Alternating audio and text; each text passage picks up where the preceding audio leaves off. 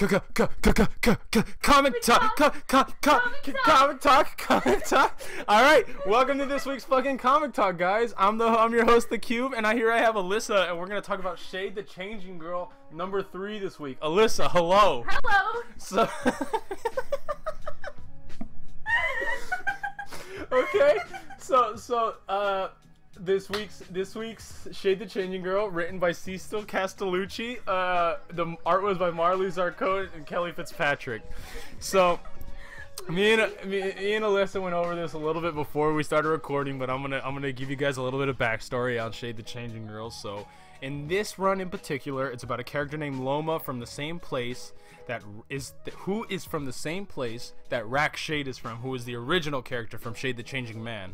And she really because the thing is uh, Rac, he was a poet on their planet.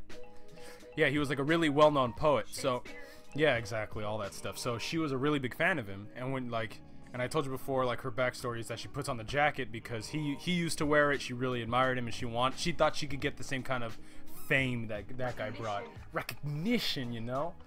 So what ends up happening is she puts on the jacket and inhabits the mind of Megan Boyer, who is a girl who sl- who went into a coma through an accident or on purpose, Quote unquote. quote unquote, not too sure. And in this comic in particular, that's what is basically happening. And it starts off with Loma in her body, and Megan Boyer was a part of a swimming team, or a, uh, what's the word I'm looking for? Not not just a swimming team. They did dancing in the water. They're synchronized swimming. They're synchronized swimming. So what ends up happening is like if the comic kind of starts off with her describing what it is to feel afraid as a bird, like they get they get nervous, they're like you know their feathers rile, but as a person you start sweating, you feel hot, you feel cold, your heart's racing, like like everything's going at once, you know, and she's dealing with that. So she's trying to like kind of adjust to being a person again, or being a human basically, and she falls into the water, almost starts drowning because of it. And um, what ends up happening is Wes, the guy who may or may not have something to do with her going into a coma, comes by and is like, "Hey, I'll help you swim. I'll help you remember how to be you again." And um, yeah, suspicious, right? Like, cause like, why would he be doing that? Um, as we go along, though, we basically find we come back to Lepuck, who is Loma's girlfriend on the other planet, and he basically just and Your he boyfriend? boyfriend. I'm sorry. Well, who the fuck knows? Look at these people, right? Was about to say. yeah like i can't i can't even tell for, for i don't know you don't don't don't assume their gender Oh, okay God. so what ends up happening is um he d- he basically is holding loma like as i said before loma is basically in this glass case wearing the jacket on his planet but inhabiting the girl's mind on the other planet so he's basically holding her trying to take care of her and protect her while ba- while freaking loma is trying to deal with like high school troubles and that's one of my problems with this is that if you read the original rac you know shade the changing man comic. It's wild. It's crazy. Like where like there's like literally like anytime rac is near someone he literally starts driving them crazy. Like like their deeper innermost insanities almost start coming to coming to life. Like there's one guy who's like obsessed with the assassination of J- jfk so a giant pillar or not even a pillar a giant like stone statue of jfk's head comes out of the ground and it's there's a hole where it's the bullet hit and there's like brain in the statue so like it's literally crazy and in this we're just dealing with high school girl troubles Do you think that the way that the craziness comes out in real life, do you think that's the way for it to like? Did that happen in the original comics? Like Ye- the crazy coming out?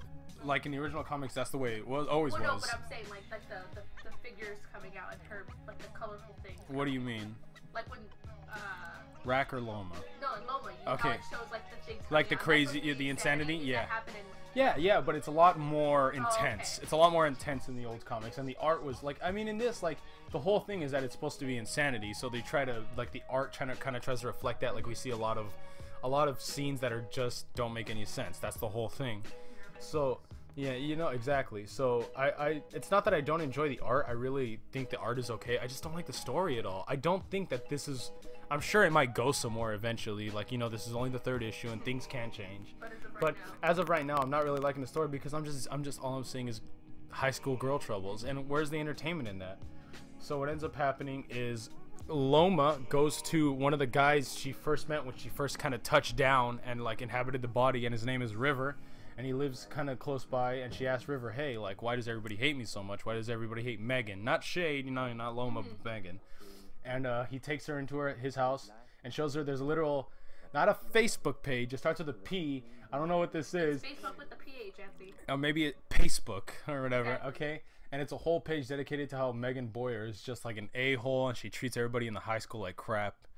And literally, like, look at some of the stuff. Some of the stuff that people said. Megan dared me to drink, take a cup of water from the toilet she left the turd in. Jamie, she said I was ugliest on the inside. Out, she said I was ugliest on the inside of for four semesters in a row. She's the ugly one. Like, you know, she's just like Jamie Megan. like. Yeah, Megan Boyer was just like a very, very insulting, you know, insulting thing. So what ends up happening? With the B? Yeah, yeah, exactly. So what ends up happening is Loma kind of goes into her med- meditation state, trying to like calm the madness.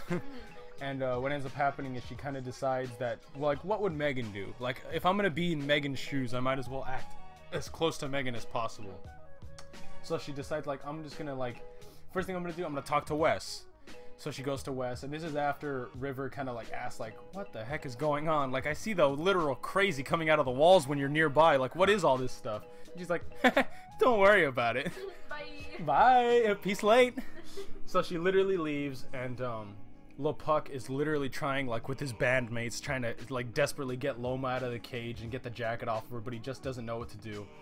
And River is now researching aliens and stuff because now he doesn't he doesn't know what Loma is.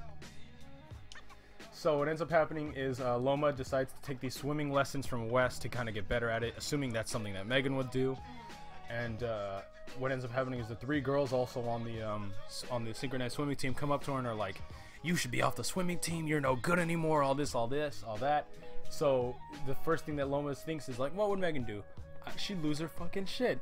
So Loma literally just starts using the insanity around her to start fighting, uh, fighting these chicks. Starts pounding on them with literal madness. Bugs start crawling out of their head. She's reaching into their like, physically reaching into her head, like not like straight through like vision levels of like warping through, you know, you know, warping through stuff. And it ends with the the coach of the swimming team walking in. You guys got detention. Not gonna ask about the three extra hands you got growing, the bugs, and the extra things coming out of the wall. Now you, you got detention. No, no, you know. And that's where the comic ends. And basically, I guess Loma and Megan are kind of accepting the madness, sort of, you know, kind of taking it in. Wait, so is Megan in like the back of Loma's head? Kind of like Like, like she's kind of like a like Lo- like Loma is like the body and Megan is like in the back like like this is my life this is kind of what's going on Uh-huh. you know? It's like two people living in the same head but Lo- like Loma's the dominant one and Megan's kind of in the back of it cuz she So went into a a coma like yeah she like if Loma wasn't there she'd be a vegetable. That's what's happening. So the comic ends right there and then we get a nice little side comic of dial H for hero in in hero or error because the thing is if you like you know you move the letters around hero error all that stuff. So what ends up happening it's about a girl named Christy now I don't know if this is like a character in an old comic I might be missing that and I'm sorry if I am but it's a character in an old comic or, or if it is a character in an old comic she basically presses a dials a button that says H for hero.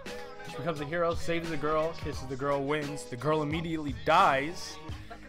Yeah, like immediately, and then a villain flies in and beats the shit out of the Christie, and Christie reverts back into being a person. Now, I don't like the the non-talking or whatever. I guess it's supposed to be kind of symbolic, but my favorite line is the only real words that we see besides hero, and it says, "Does the transformation make the hero?" Because I feel like that's kind of an important question sometimes to ask.